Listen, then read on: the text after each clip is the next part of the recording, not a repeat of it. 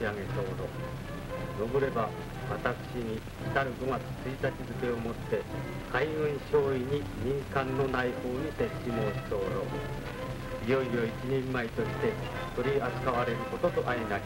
その重責を痛感するとともにその感激をもってますます将来努力いたすつもりにござ候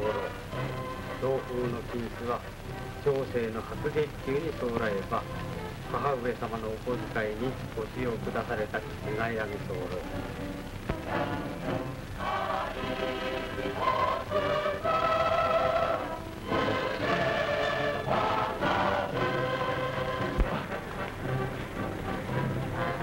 どうもして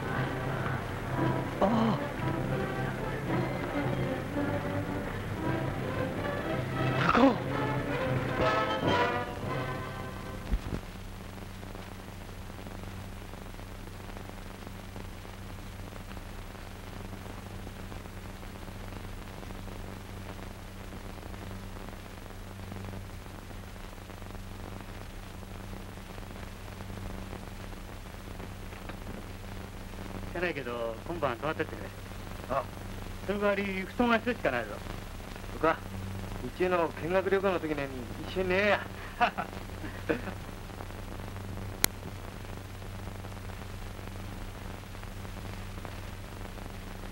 みんな貴様が書いたのか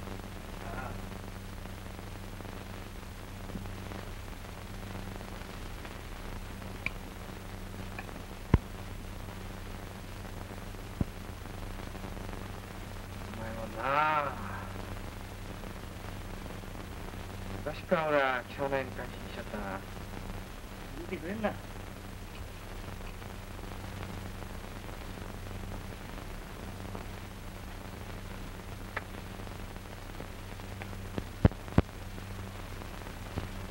俺はもう何を書いてるのかわからなかった。書きになろうと思ったのが間違えちゃった。なあ第一線で戦争しとる兵隊もあるのに時は色物を書いたり花を書いたりしようそういうことしようってええもんじゃろ俺はもう生物を描くのも風景も人物も嫌な何もかも嫌なってしまうそのことを言や俺はもう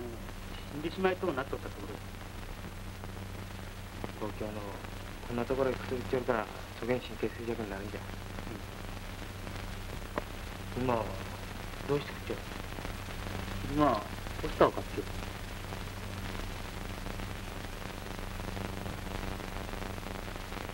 なあ貴様はどうして軍艦の絵を描か？軍艦？子供の時は軍艦の絵ばかり描きよったじゃないか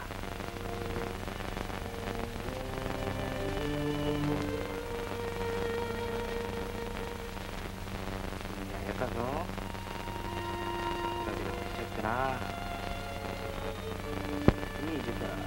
つまらん感が飛んでしまうぞ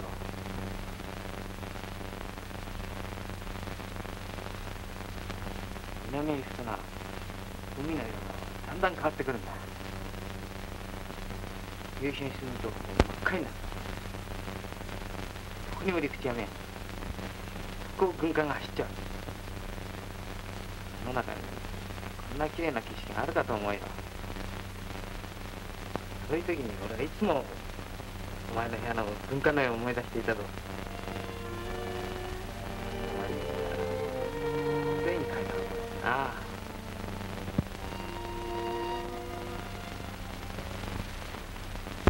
南洋高校に流れてあそこの海は草色じゃ。大きな真珠湾に向かって潜ってきよ。る真珠湾がなかと鹿児島はそのままじゃ。やあれやここへ戻ったような気がしたよこの真珠湾にアメリカの太平洋艦隊がいたエンタープライズアリゾナもインディアナポリスも俺はいつからこの軍艦と交戦するときあんた入ってたがしかしこの軍艦のどれもが俺には初めての軍艦じゃなかった。みんなお前の部屋で見たことのあった軍艦だよ。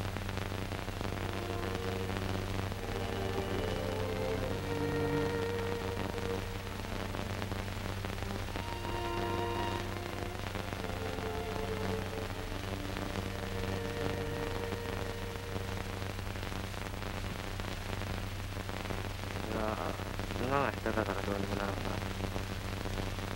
軍艦や飛行機は絵にならんのかそんなことはないドイツにはフラウスベルゲンという海軍画家が